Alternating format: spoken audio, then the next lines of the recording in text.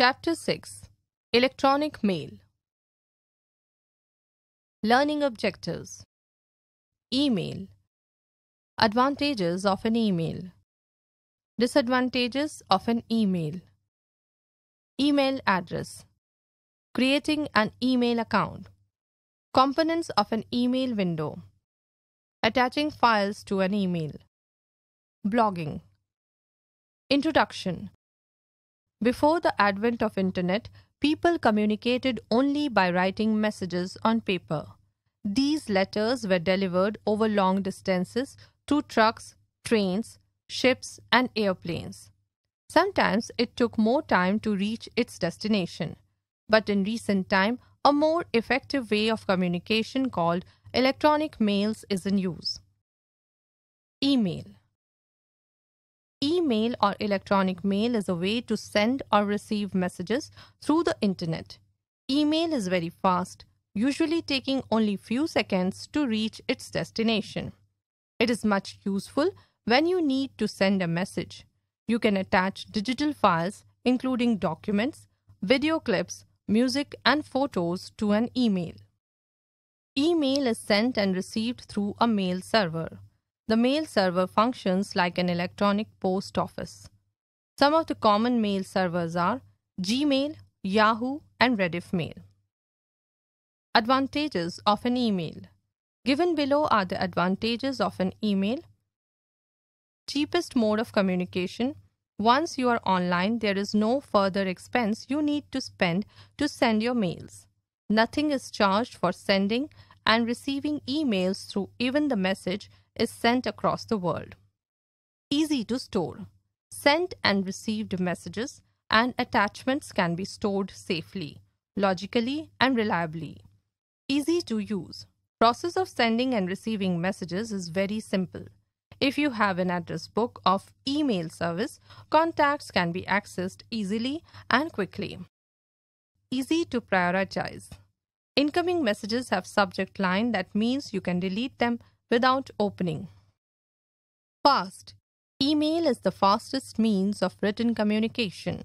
A message can reach to any part of the world in a fraction of a second. Global. Web based email means you can access your messages anywhere when you are online. Content. The email message may contain a few lines or a thousand of lines. Message is not charged by weight as in postal services.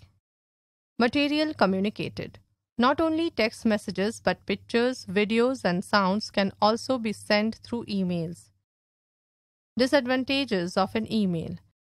Besides number of advantages, email has certain drawbacks too. Emotional responses. Some emails may upset you or cause anger and discomfort. Lack of personal touch. Email lacks that personal touch that a handwritten card or letter gives when it comes to relationships. Viruses. Email is one of the main source of virus. A virus can easily affect your computer. Fast internet connection. To send emails or attachments, you require a fast and reliable internet connection. Email address. An email address acts like the postal address. It indicates the location on the internet where a message has to be sent. An email address usually comprises of three parts, the username, the at the rate symbol and the domain name. Together, an email address is read as username at the rate domain.com. Domain name is the name of the mail server. For example, yahoo.com is a domain name. A typical email address looks like this rohit at the rate gmail.com. Creating an email account. An email address can be created easily through an email client website. The mail servers in such websites allocate every user with a unique email address. Some of the websites that provide free email accounts are www.gmail.com, www.yahoomail.com, and www.hotmail.com. To create an email account with Gmail, follow the steps given below. Connect to the internet by double clicking on the web browser, for example, Microsoft Edge. Type gmail.com in the address bar and go to the Gmail site. Click on the link Create account present at the bottom and select for myself. A form will appear on the screen. Fill in all the information that has been asked like your name, last name, email address, you prefer or password. Be very careful with your password. Memorize it and keep changing the password periodically to maintain the security of password. There is a section in the form which asks you your phone number, recovery email address, date of birth, and gender. Fill in the details and press Next. Read the terms and privacy conditions and press I agree. After filling the form and agreeing to the terms and conditions, your email account is created and you receive a new email address and a password. Login or sign in. The process for entering into a personal email account is called login. To log in an account, you must type a correct email address and a password. Components of an email window. On successfully logging into an email account, several options such as inbox, drafts, compose, and sent mail are visible on the screen. Inbox. It comprises the received mails. Compose. This option is used to write and send new messages to others. On clicking this option, you get a window to fill in the following details. 2. Type the email address of the recipient in this box. Without entering the email address of the recipient, the email cannot be sent. CC. CC is the short form of carbon copy. In this box, you can enter the email address of the person to whom you would like to send the copy of your mail. This is optional. BCC. BCC stands for blind carbon copy. In this box, you can enter the email address of another recipient who receives the copy of the mail, but whose name and address are hidden from all other recipients. This is also optional. Subject.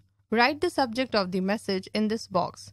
Recipients see the subject of the mail in the summary of their incoming messages. Body of the mail. This box is for typing the main content of the message. This message can be of any length. Attachment. Any type of attachment in the form of a document, photo, audio, or video can be sent together with a reply. When you receive a message, you may want to respond to it. For this, the email window has a reply option. Click on this option and type your message as a reply to the email received. Inbox. Inbox is like a mailbox in which all the incoming mails are stored. Starred. It contains important mails which you have marked as starred so that it becomes easy to find such mails. For this, click on the star beside a message. Sent mail. It contains all the mails you have sent to the recipients. Drafts. Drafts are used to contain those messages which you do not want to send yet. Trash. Trash folder is used to store the deleted emails for a defined time. All mail. This is an archive folder where all the emails are stored with label.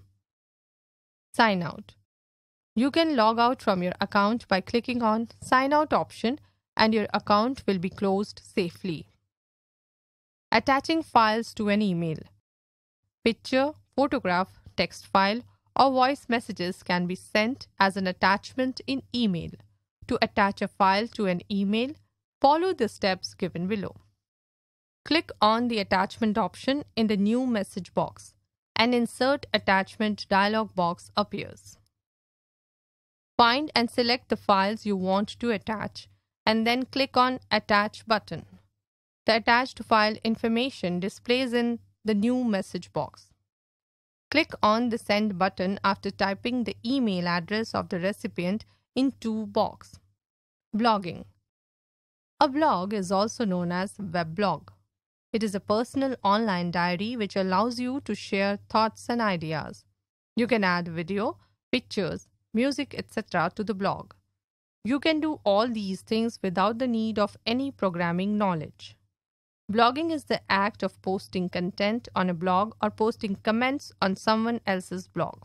Blogging is very popular today because it allows people to interact with each other. Blogging has also become a popular search engine optimization tool because search engines like Google and Yahoo know that a blog is frequently updated with content in visitor comments.